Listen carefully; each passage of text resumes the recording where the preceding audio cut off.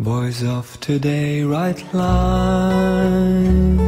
on walls In streets at night, in suburbs of cities with no name Is this destruction or just quiet protests Against loneliness?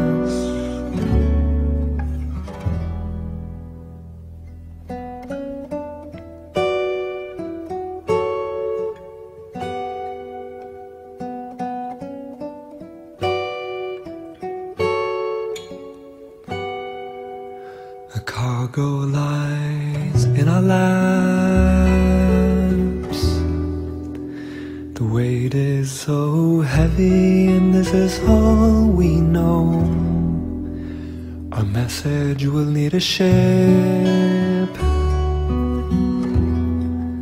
to travel across oceans that can otherwise be crossed. It undulates on the waves